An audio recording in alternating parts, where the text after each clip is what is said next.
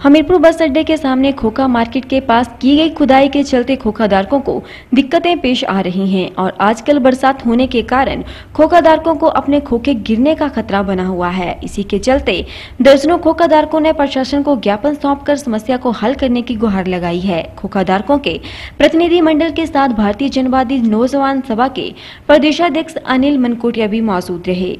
खोखाधारकों ने जिला प्रशासन से मांग की है कि आगामी पाँच दिनों के भीतर समस्या का हल किया जाए। अन्यथा खोखाधारक धरना प्रदर्शन करने के लिए मजबूर होंगे, जिसका जिम्मेदार प्रशासन होगा।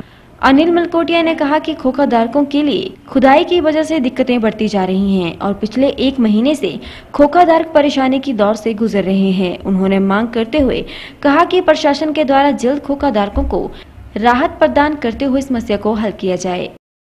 आज बस स्टैंड हमीरपुर के सामने जो खोखा धारक हैं, वो अपनी समस्याओं को लेकर यहाँ डीसी साहब से मिलने आए थे, लेकिन उन्होंने मिलने से मना कर दिया और ये जो समस्या, खोखा यूनियन की जो समस्या पैदा हुई है, आज से लगभग एक महीना पहले जो दुकानों के बाहर एक फुटपाथ बनाने को लेकर जो है, वो खुदाई की गई।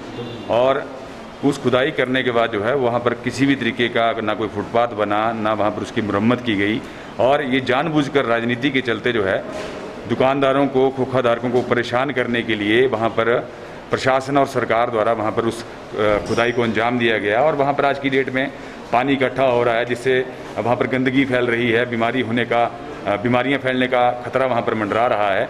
लेकिन उसके साथ साथ उसकी मुरम्मत करने की बजाय, उसको सुधारने की बजाय इनको और परेशान करने के लिए जो है, पीछे से भी जो खोखा मार्केट है, उसके पीछे से भी जो है, वो खुदाई करना शुरू कर दिया और एक साजिश के तहत कि वो खोखे जो जो दुकानें हैं, जो जो वहाँ पर इमारतें जो खड़ी की गई हैं, वो अपने आप ही बरसात के चलते जो है साजिश के तहत वो गिर जाएँ।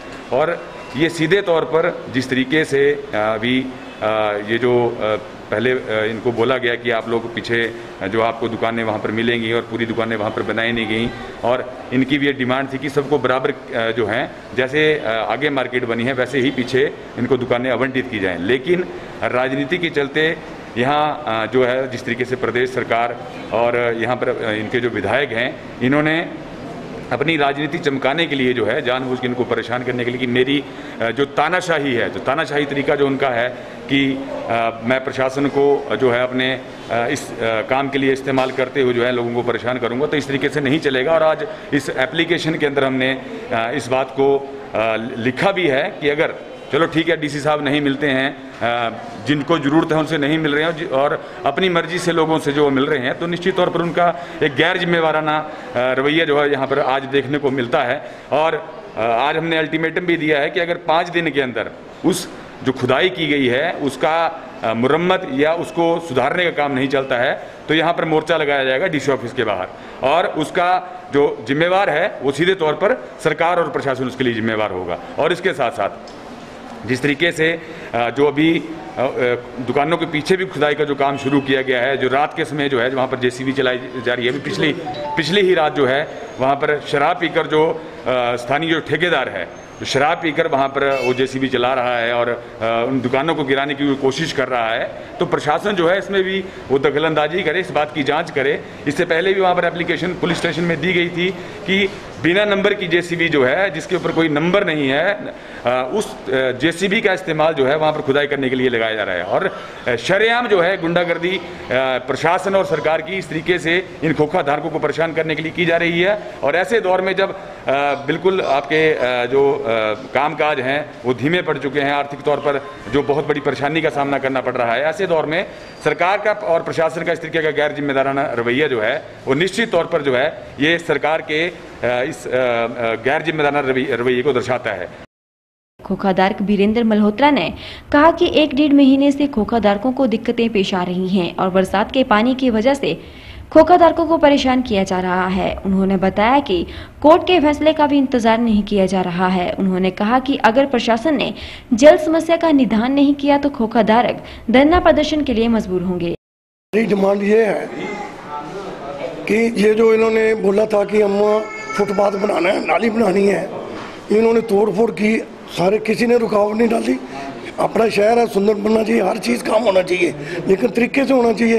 ये तो इन्होंने तोड़ फोड़ की, गलत तरीके से तोड़ फोड़ की। चलो, कहिया स्टे होने के बावजूद भी इन लोगों ने कानून को अपने हाथ में लिया है। ना तो ये स्थानीय अदालतों को मानते हैं, ना हाई कोर्ट को मानते हैं। स्टेटस को है कि इसको ये कोई छेड़छाड़ नहीं कर सकते।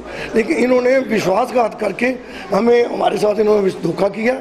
हमारी मांग ये है प्रशासन से कि आज डेढ़ महीनों का वहाँ गंदगी फैली है, पानी खड़ा है। आगे कोरोना से हम लोग मारे फिर रहे हैं, सरकार भी परेशान है, हम लोग भी परेशान हैं और वहाँ पानी खड़ा है। जैसे ये तुरंत राहत दी है, इसको पाँच दिन के अंदर अंदर शुरू करें, नहीं तो हमें मजबूरी जो इनके खिलाफ जो धरना देना है, वो सारी ज़िम्मेदारी इनकी। कोई भी अप्रिय घटना घटी तो प्रशासन की ज़िम्मेदारी होगी। और दुकानों के पीछे भी देखो, छुट्टी वाले दिन भी इनको चैन नहीं, इस कोरोना में भी चैन नहीं थी बरसात में भी चैन नहीं यारो। कि रात दिन इन्होंने मशीन जैसे भी रात को भी बारह एक बजे दारू पी के मतलब खुदाई कर जब हम रोक रहे हैं अभी दुकानें गिर जाएँगी पानी इतना हो रहा है दुकानें गिर जाएँगी उसको तुरंत समाधान करें जब भी सबर करो थोड़ा कोर्ट का फैसला आने दो जो मर्ज़ी करो हम नहीं रोकते किसी काम के लिए नहीं हमने रोका है हमारा शहर है सुंदर बनना चाहिए लेकिन कुचलो मत गरीब आदमियों को कुचल के रख दिया इन्होंने नहीं है तो हम जो भी होगा हम इनका देखेंगे अपने हिसाब से अगर ये नहीं मानते तो फिर हमें देखो कोई भी घटना घटी किसी को हार्ट अटैक हो गया, कोई बंदा वैसे मर गया, वो सारी ज़िम्मेदारी कोई परिवार उजड़ गया, सारी ज़िम्मेदारी प्रशासन की होगी।